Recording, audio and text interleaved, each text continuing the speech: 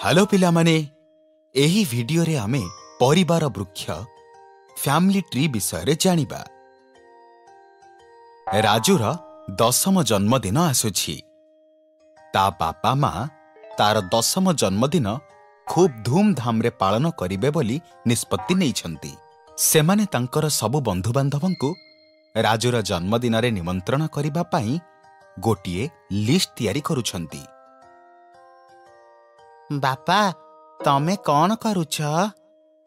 ମୁଁ ଆମର ସବୁ ବନ୍ଧୁବାନ୍ଧବଙ୍କ ଲିଷ୍ଟ ତିଆରି କରୁଛି।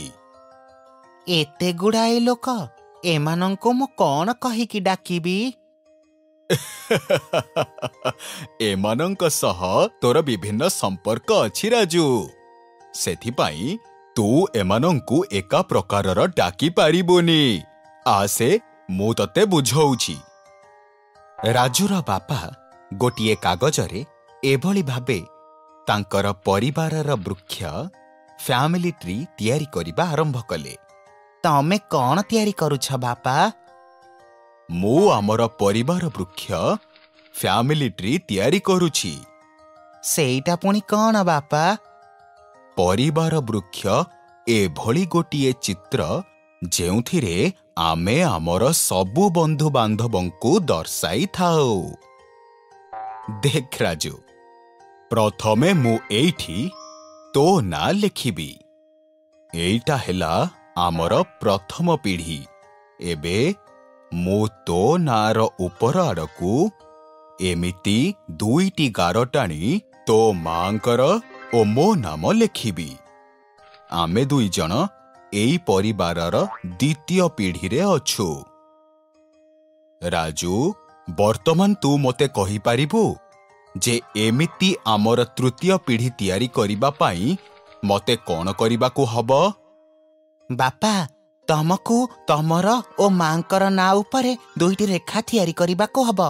ମାଙ୍କ ନାଁ ଉପରେ ଥିବା ଦୁଇଟି ରେଖାରେ ଅଜା ଆଉ ଆଈଙ୍କ ନାଁ ଲେଖିବାକୁ ହବ ଏବଂ ତମ ନାଁ ଉପରେ ଦୁଇଟି ରେଖାରେ ଜେଜେ ଓ ଜେଜେମାଙ୍କ ନାମ ଲେଖିବାକୁ ପଡ଼ିବ।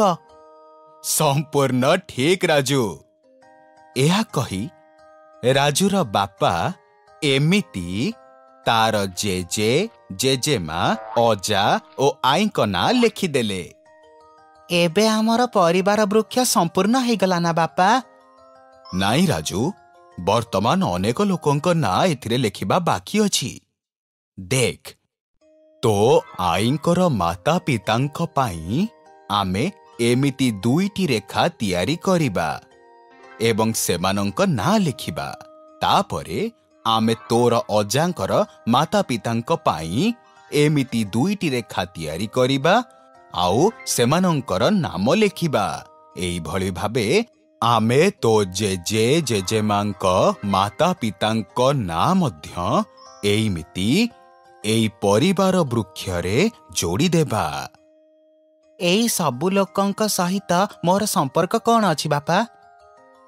ଏମାନେ ତୋର ଅଣ ଅଜା ଓ ଅଣ ଆଈ ଆଉ ଏମାନେ ତୋର ଅଣ ଜେଜେ ଓ ଅଣ ଜେଜେମା ଏମାନେ ହେଲେ ଆମର ଚତୁର୍ଥ ପିଢ଼ି।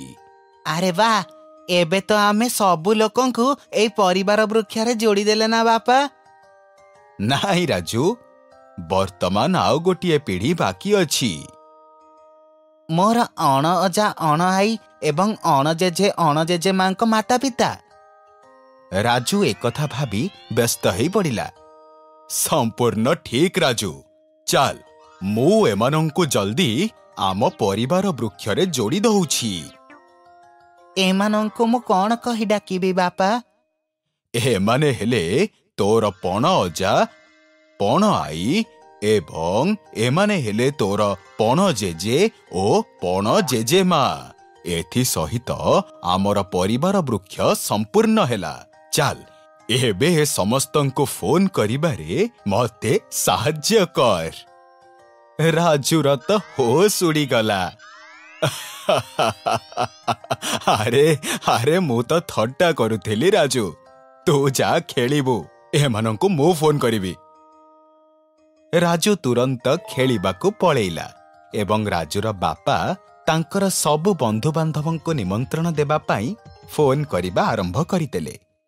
ପିଲାମାନେ ଏହି ଭିଡିଓରେ ଆମେ ପରିବାର ବୃକ୍ଷ ଫ୍ୟାମିଲି ଟ୍ରି ବିଷୟରେ ଜାଣିଲେ। ପରବର୍ତ୍ତୀ ଭିଡିଓରେ ଆମେ କିଛି ଆକର୍ଷଣୀୟ ଉଦାହରଣ ଦ୍ୱାରା ଏହା ବିଷୟରେ ଆହୁରି ଅଧିକ ଜାଣିବା।